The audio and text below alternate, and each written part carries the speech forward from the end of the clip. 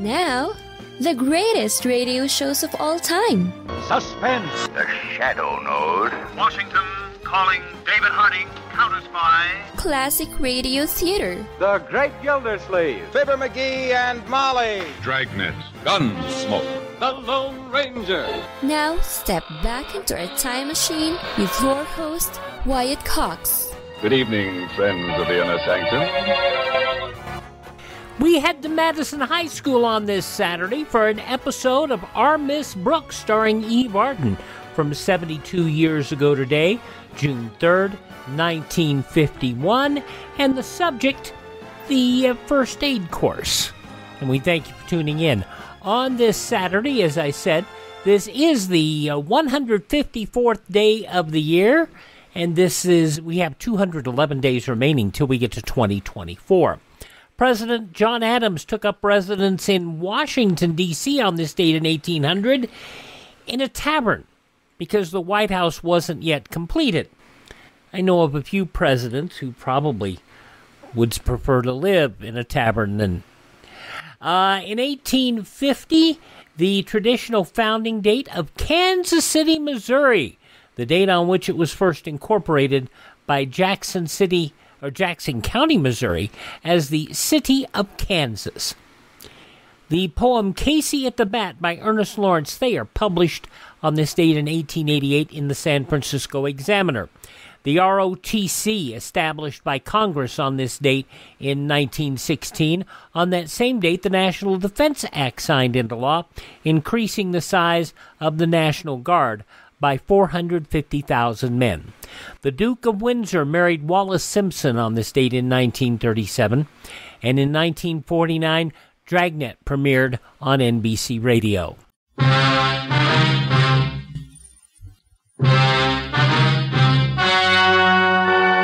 Ladies and gentlemen, the story you are about to hear is true. Only the names have been changed to protect the innocent. Dragnet.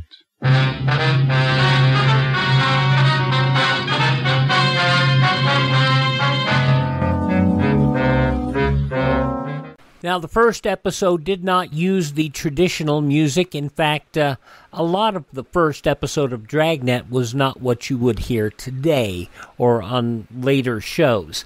That first program of Dragnet is apparently lost to the ages. 1965, the launch of Gemini 4, the first multi day space mission by a NASA crew. Now, for the first time on this date in 1965, Edward H. White floated free outside the space vehicle Gemini 4 for the first time. Get back in. Okay. I don't know, we're coming over the west, the west end. They want you to come back in now. Uh, Roger. We've been trying to talk to you for a while here. Uh, no, back in. Come on. Astronaut Edward H. White taking the first spacewalk on this date in 1965 by a U.S. astronaut. Government of China sent troops on this date in 1989 to force protesters out of Tiananmen Square after seven weeks of occupation. 2013, the trial of U.S. State U.S. Army Private Chelsea Manning for leaking classified material to WikiLeaks began. And in 2017, eight people murdered, dozens of civilians wounded by Islamist terrorists driving a van in London. After the van crashed, its three occupants ran to the nearby borough market and began stabbing people in and around restaurants and pubs. Three of the attackers were shot dead by police. Passing away on this date in history, persons of note include novelist Franz Kafka, Pope John the 23rd, pro wrestler Dory Funk, the elder of the uh, Funk family, uh, Ozzie Nelson, the band leader, producer, director, actor, the uh, Iranian Shiite leader uh, Ayatollah Ruhollah Khomeini, also actor Robert Morley, TV personality Dennis James, okay, okay.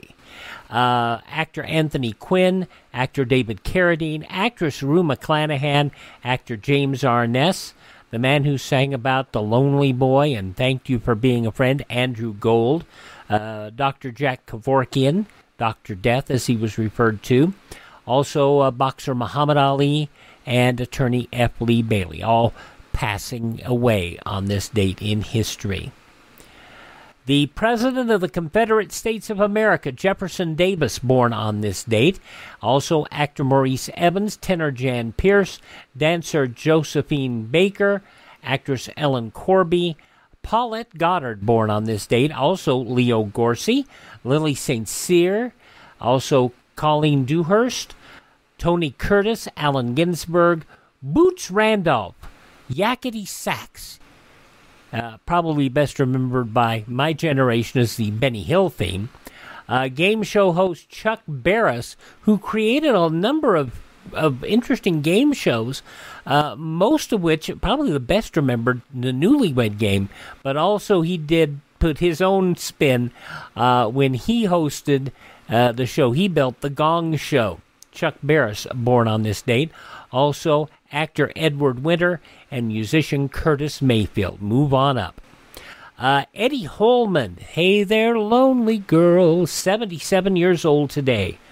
Uh, she was Leather Tuscadero on Happy Days and had a big hit with her song Stumbling In. Suzi Quatro is 73 today. Uh, this, yes, she had a hit with the song Free and Let's Hear It for the Boy from Footloose. Deniece Williams, 72 today. Singer songwriter Dan Hill, 69 today. And uh, CNN's Anderson Cooper, 56. Those just a few of the people celebrating the third day of June as their birthday. And if this happens to be your birthday, Happy birthday to you. Happy birthday to you. Happy birthday, happy birthday. Happy birthday to you.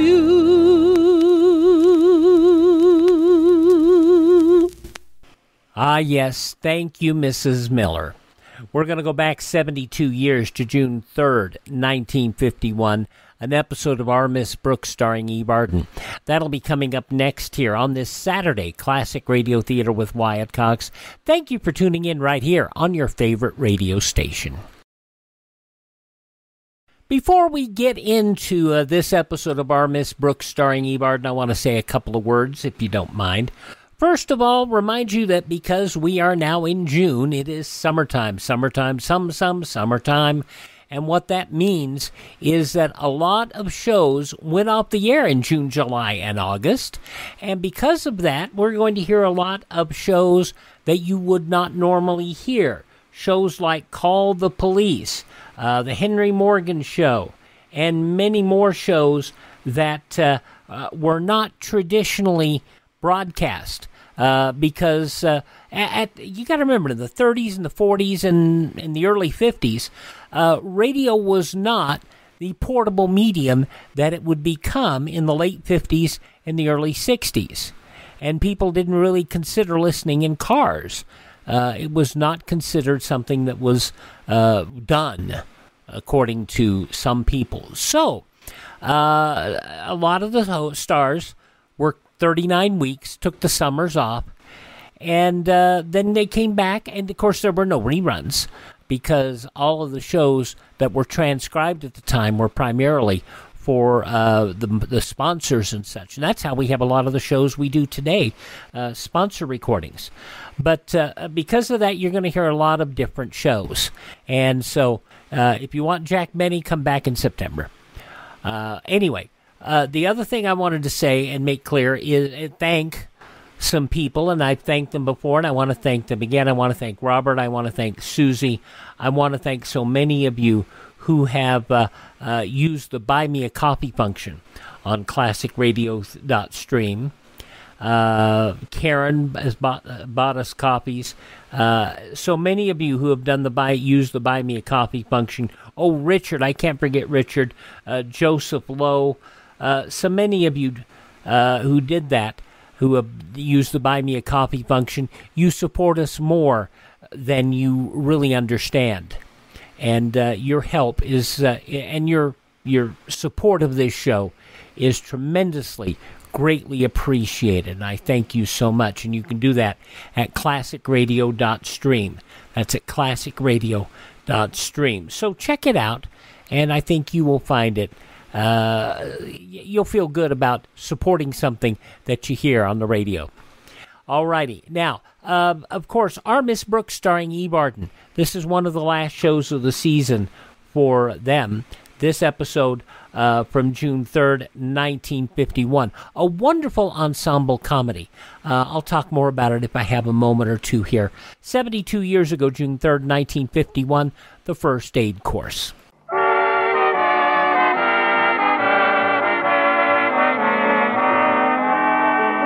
For many of us, the early morning hours aren't the most cheerful time of the day. So it is with our Miss Brooks, who teaches English at Madison High School.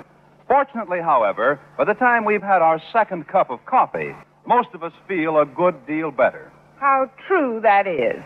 I always feel quite a bit better after my second cup of coffee, which I have at 7:30 in the evening. But when some extremely fortunate occurrence is impending, I can even be cheerful at breakfast. That was the case last Friday when I joined my landlady in the dinette.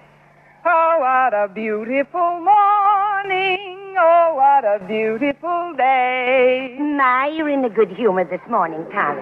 It's grand to hear you singing like this. Thanks, Mrs. Davis. I've got a wonderful feeling. Everything's going my way. And it's such a nice song, too. The beautiful blue Danube.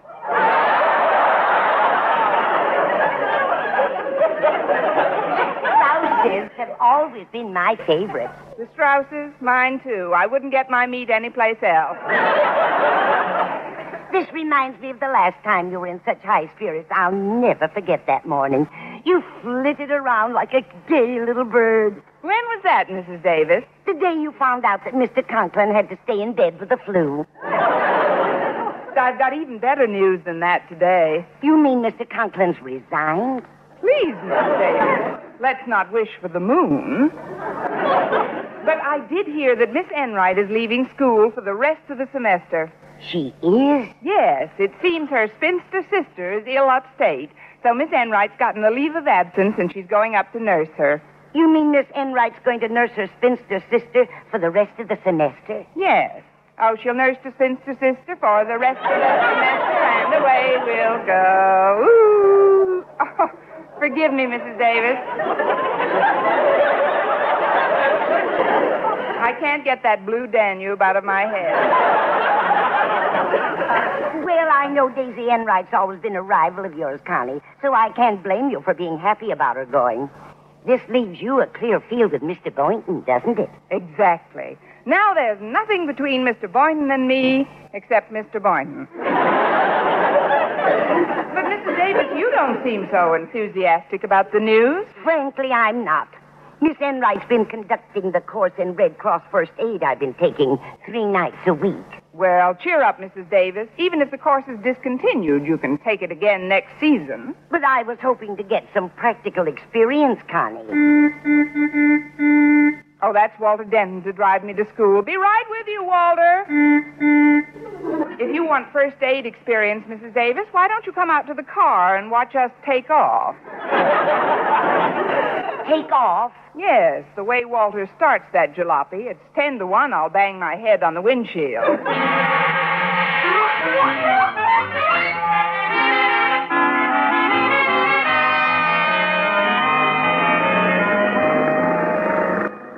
That we're on our way, let's have a nice, smooth ride to school, Walter.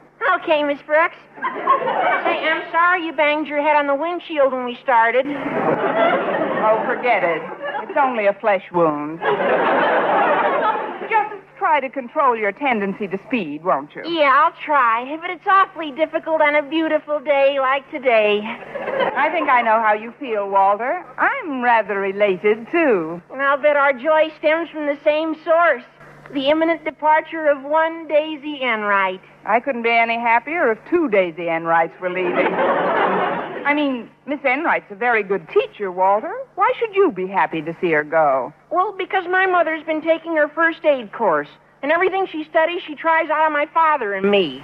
Well, you shouldn't complain about that, Walter. Your mother's just trying to learn how to take better care of her family. Yeah, she sure took care of me last Monday. Seems she had to do some splint practice, so naturally she used me. You seem a little flexible for a splint, Walter. No, she put the splint on my leg, Miss Brooks. And then, then she told me to walk across the room. And did you? I took one step and fell on my face. What did your mother do then? She bandaged my face.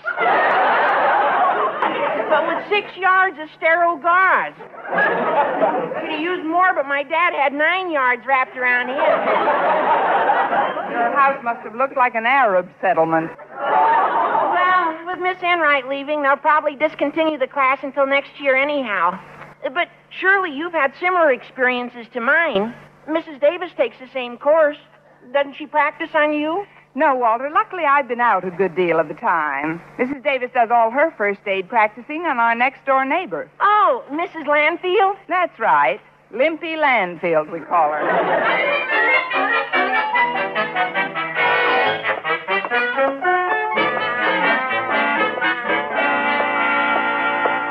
Hi, Miss Brooks. Didn't Walter drive you to school today? Yes, Harriet. He'll be along in a minute. Oh, you certainly look radiant this morning, Miss Brooks. What's the reason for the big smile? I just told you Walter drove me to school, Harriet. I always smile when I get out of his car alive. Whatever the reason, I'm glad you're so cheerful, Miss Brooks. Thank you, Harriet. Oh, before I forget, Daddy wants to see you in his office immediately. Have you any idea what he wants to see me about? No, but he sounded even more urgent than usual. You better get right on in, Miss Brooks. Very well, Harriet. I'll see you in class. Good luck, Miss Brooks. Enter. Uh, you wanted to see me, Mr. Conklin? I could answer more truthfully if you rephrased the question. There's something about which you must see me? That's better. Sit down, please. Now, I don't know whether or not you're aware of it, but our school is about to suffer a grievous loss. Miss Enright is leaving. I know. It's, it's terrible.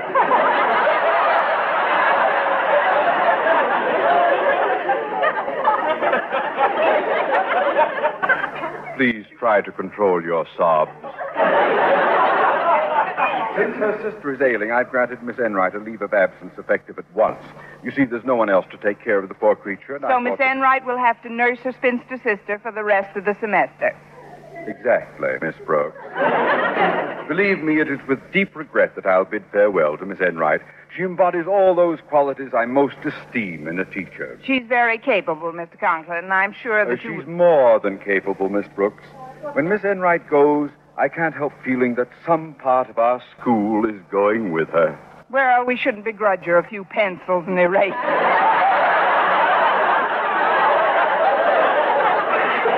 I mean, she'll be back in the fall, Mr. Conklin. I sincerely hope so. Now then, since it is too late in the season to hire outside help, this vacancy must be filled by other members of our faculty assuming additional duties. I think I just heard the school bell, Mr. Conklin, so if you'll excuse Uh, me. there I'll- was no bell, Miss Brooks. Sit down. Although her classes will be taken over by Mr. Chalmers, Miss Enright leaves another most important post to be filled.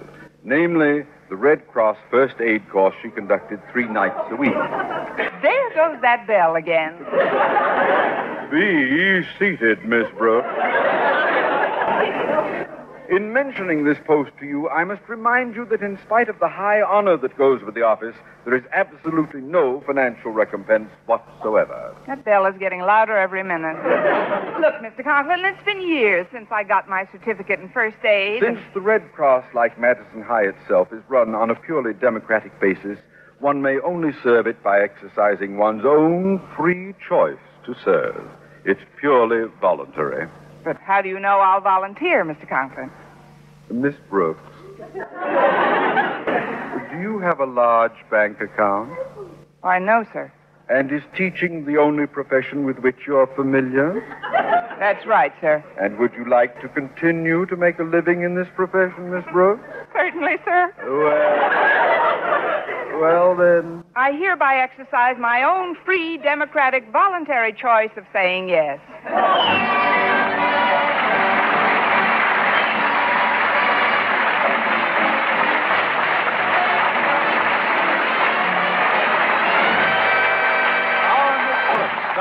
Arden will continue in just a moment. But first, I mentioned the wonderful ensemble cast of Our Miss Brooks. Of course, Gale Gordon, such a wonderful time. Uh, Jeff Chandler and uh, Dick Crenna, Richard Crenna, who had become a wonderful serious actor after this run, and so many great people. Our Miss Brooks, starring Eve Arden, from uh, June 3rd, 1951, on Classic Radio Theater with Wyatt Cox. We'll have the news from 72 years ago today when Classic Radio Theater with Wyatt Cox continues on your favorite radio station.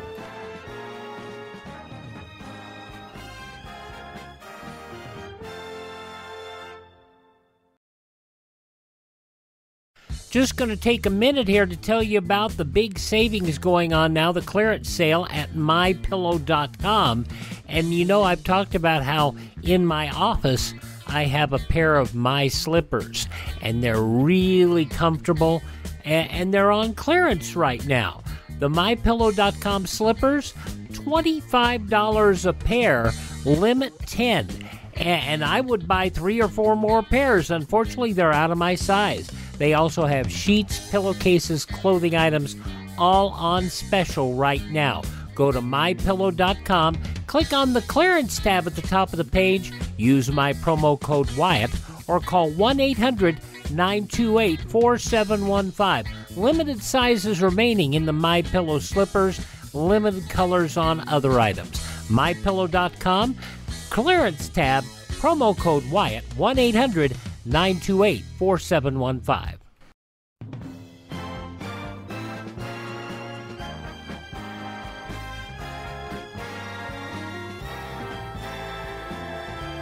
Classic Radio Theater with Wyatt Cox on a Saturday here on your favorite station, an episode of Our Miss Brooks starring Eve Arden, as it was broadcast Sunday, June 3rd, 1951, in the newspapers of that Sunday 72 years ago.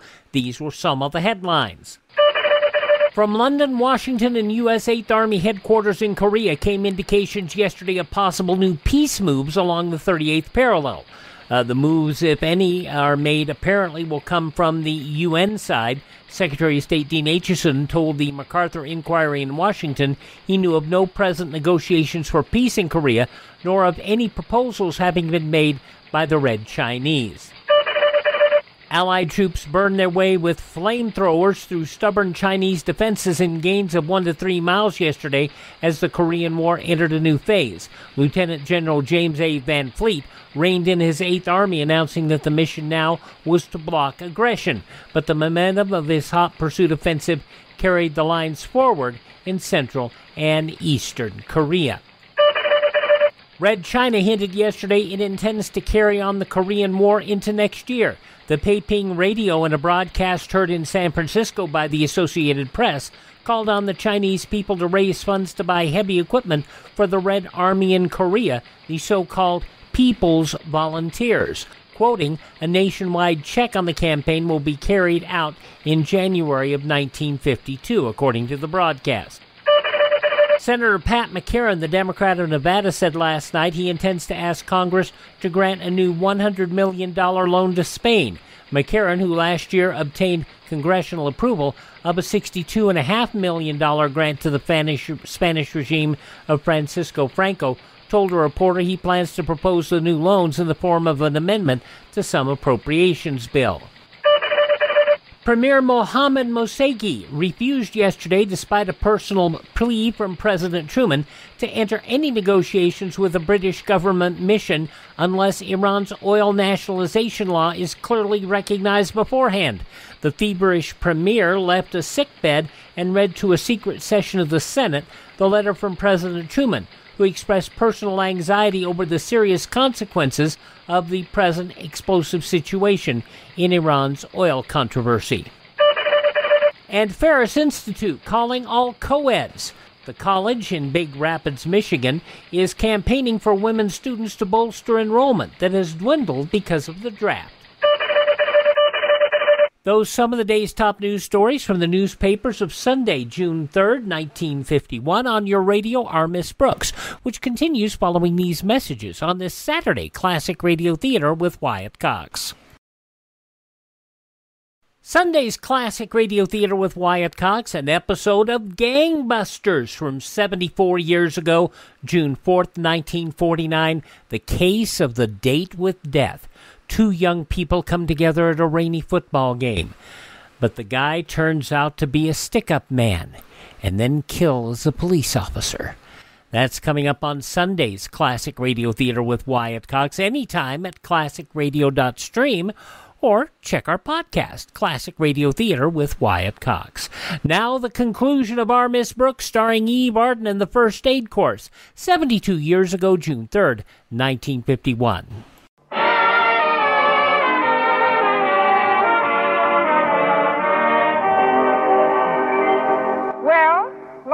I had to take over Daisy Enright's first aid course didn't help my appetite any. Nevertheless, when lunchtime came, I went to the school cafeteria, baited a table with meatloaf, and sat down to wait for Mr. Boynton. But as I toyed with my salad, it was Miss Enright's voice that broke in on my reverie. Well, Miss Brooks, as I live and breathe. Two faults that are easily remedied. What are you doing, darling? Feeding your full little face again? What do you mean again? I haven't had anything to eat since. What do you mean, full little face? Just take it easy, darling. We've all got our troubles. Look, look at what's happening with my poor sister, for instance. It's such a pathetic case. Picture, if you can, a poor, lonely spinster with hardly a friend in the world, practically no one to turn to. I sympathize with you, Miss Enright. Now tell me about your sister.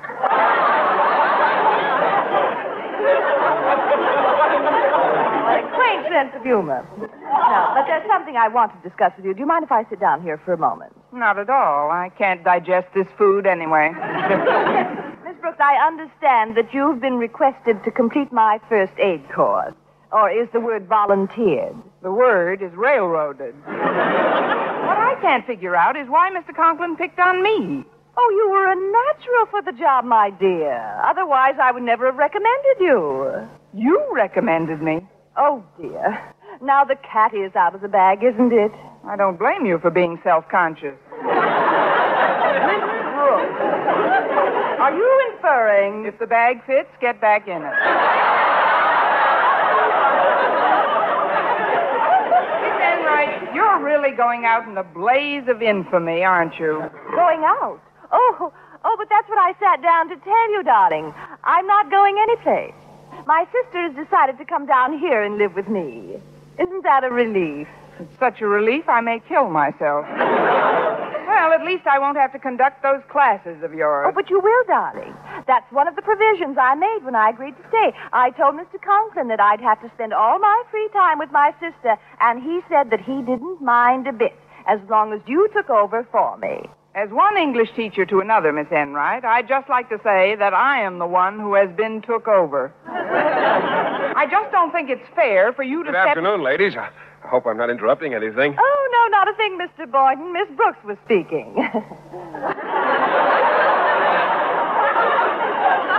Won't you sit down? Thanks, Miss Enright. Oh, that food you've got looks very appetizing, Mr. Boynton. Well, yes, I thought I'd take a whirl at the pot roast today. But I kept this plate of meatloaf covered for you, Mr. Boynton. Oh, I can probably handle them both. I'm starved. Oh, my, that roast looks yummy. and so does the meatloaf. Would you care to try one or the other, Miss Enright? Why don't you try both, Miss Enright? You can feed one of your faces, and I'll feed the other. I, uh, I think Miss Brooks is a trifle miffed because she's going to have to take over some of my duties. Oh, yes, I, I heard you were leaving, Miss Enright. When are you going? Surprise, surprise. I'm not going at all, Mr. Boynton. You're not? Well, well, that is a pleasant bit of news. Did you hear that, Miss Brooks? Miss Enright's staying on. She's not leaving at all. Isn't that just splendid?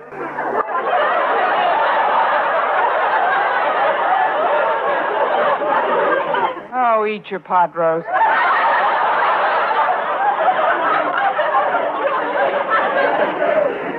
My dear sister is coming to live with me, Mr. Boynton. I'm going to take care of her. Oh, I see. Well, well, that'll keep you pretty close to home most evenings, won't it? Oh, oh I don't know. One can't look after one's sister every night, now can one? If one doesn't go out until one's asked, one can.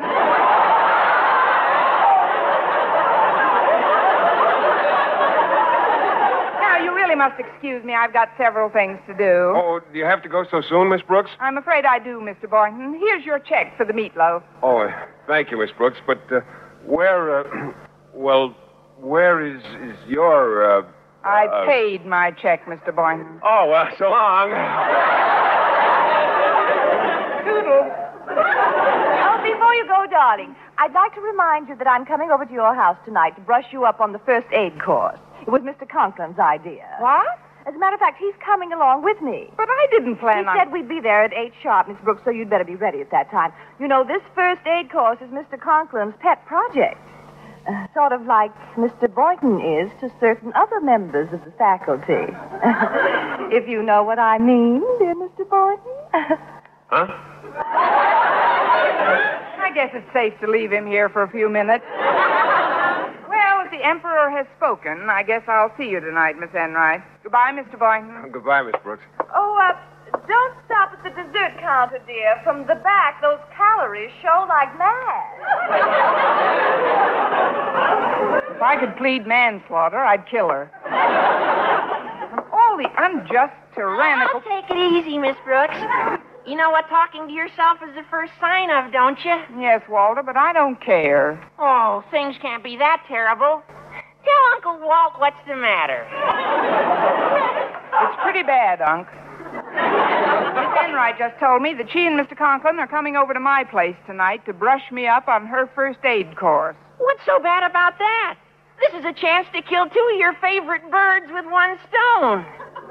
if you're going to show them what you remember from your first aid experience, you get a chance to not only clobber Miss Enright, but to show Mr. Conklin that you're totally unfit to take over the job. Well, Miss Brooks, what do you think of the scheme? Walter, if we were in France, I'd kiss you on both cheeks and give you the Legion of Honor.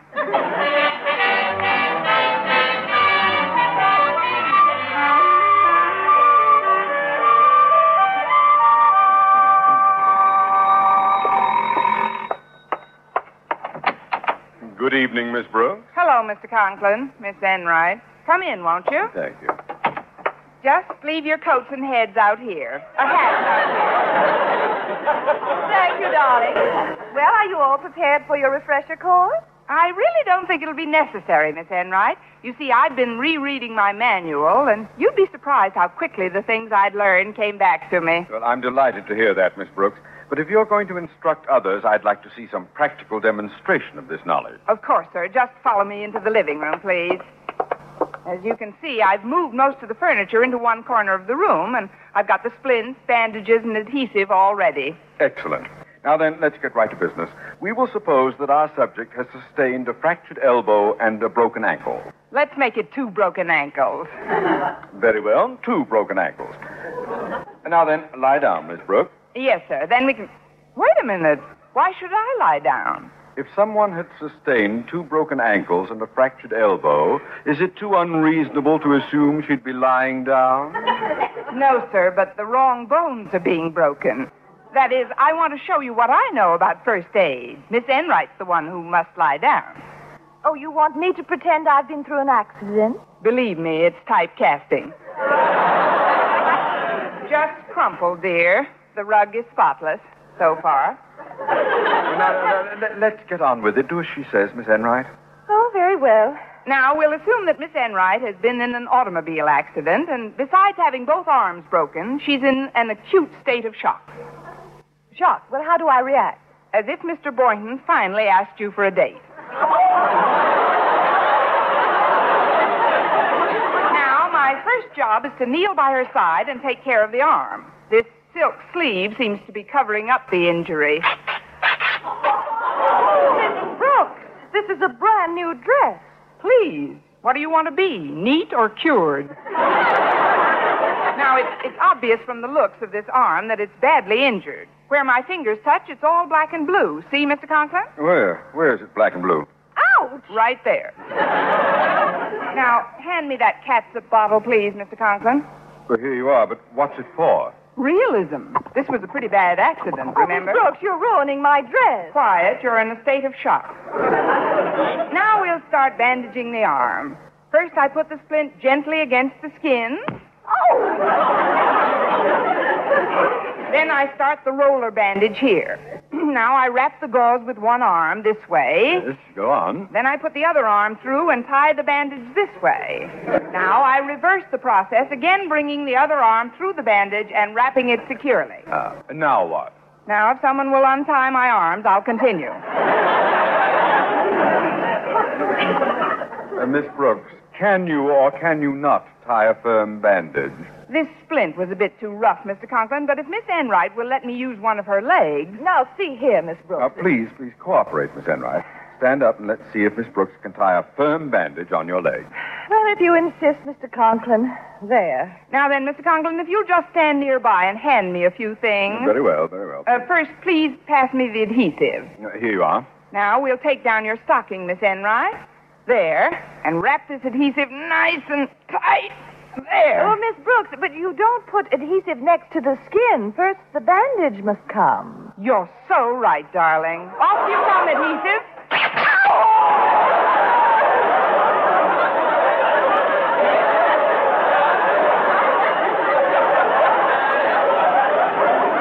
Now, now we take this bandage and oh, uh, hand me a splint, please, Mr. Conklin. Uh, here, here. The idea is to get a good steady support for the leg. Around we go with the bandage, all around the splint.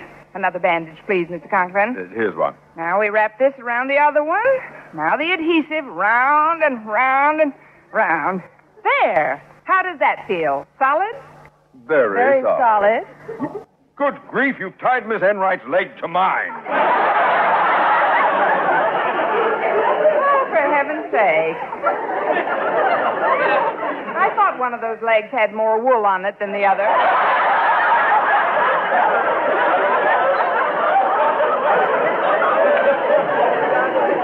Will you please get this bandage untied? I'll have to tear this splint out first. Ouch! There's a big splinter right in my thumb. Good. Now, for your next test, let's suppose that somebody's got a big splinter right in his thumb. Oh, I'll get it. Mr. Boynton, come on in. Well, I just dropped by to return a book I borrowed from Mrs. Davis, but. Uh, oh, you've got company. Please join us, Mr. Boynton. Right. Oh, good evening, Mr. Conklin, Miss Enright. Say, what are you doing? Having a three legged race?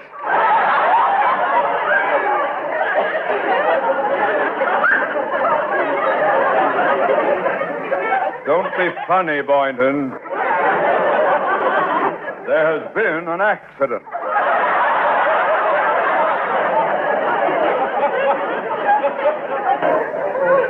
What's that on Miss Enright's dress? Oh, no.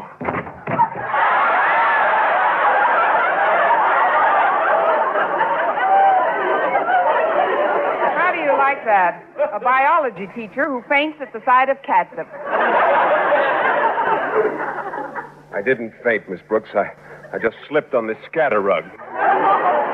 Well, stop jabbering, everyone. I've got to get this splinter removed. Would you like me to probe, Mr. Conklin?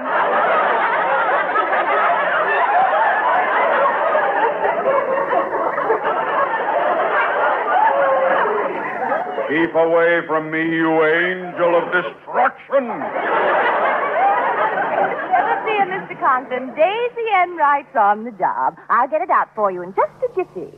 Now, here's a nice clean pin. Now, give Daisy your thumb. Come on, come to Daisy. Down, Daisy, down, girl. Here. Here, Miss Enright. Now, please be careful. Oh, there's nothing to it, Mr. Conklin. There, it's out. Say, that didn't hurt a bit. Remarkable, Miss Enright. You know, everyone should master first aid. I've been thinking of taking that course myself. You have? Yes. I'd like to sign up right now for the balance of the semester. It's a deal. Monday night at 8, I throw out the first bandage. Over my limp carcass, you do. Miss Enright, I'll move heaven and earth if you'll take over your old course. Oh, well, that won't be necessary, Mr. Conklin. Now. She's halfway to heaven already. oh, Oh, well, Miss Enright, there's just one question I'd like to ask you. Yes, Miss Brooks? What sort of splint does one use after one cuts one's throat?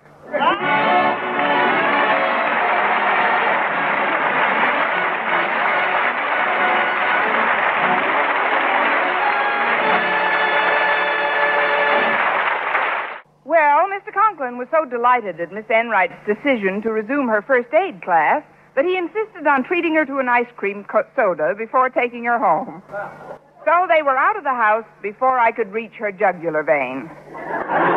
That's when I got out my Red Cross manual. If uh, if you're so interested in first aid, Mr. Boynton, maybe we could practice a bit before your first lesson. Oh, I'd love to, Miss Brooks. Uh, here's an interesting problem. It deals with a back injury. For want of a better subject, let's just say I'm the injured party. Now, you place your left arm around my shoulders. Like this? yes. then your right arm goes around my waist. Like this. What does the book say we should do next? Never mind the book, ad lib a little.